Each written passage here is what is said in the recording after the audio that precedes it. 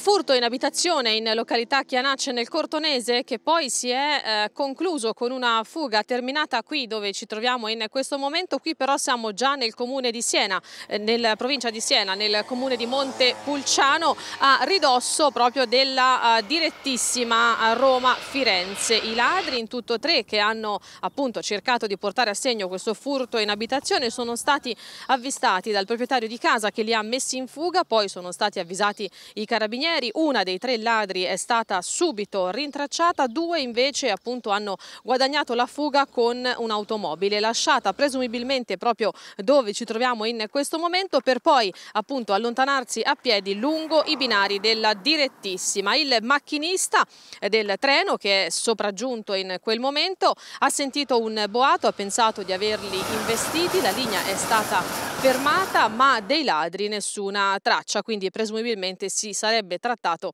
eh, di un falso allarme. I ladri hanno guadagnato la fuga, sul posto sono intervenuti anche i carabinieri di eh, Montepulciano e la direttissima, come dicevamo, è stata eh, fermata, quindi i convogli hanno subito dei forti eh, ritardi. Una zona questa del Cortonese che confina appunto con la provincia di Siena, molto battuta dai ladri, come ci racconta anche un tabaccaio che circa un anno fa ha subito una rapina un tizio mi ha messo una pistola davanti alla faccia e mi ha detto dammi i soldi, cosa che gli ho dato subito.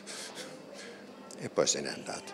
No, qui io, poi lei lo vede, guarda la porta, è tutta, è tutta mangiata a forza di provarci. Adesso sono pieno di telecamere, ho messo le sbarre alle porte, un po' mi sono salvato, ma se no...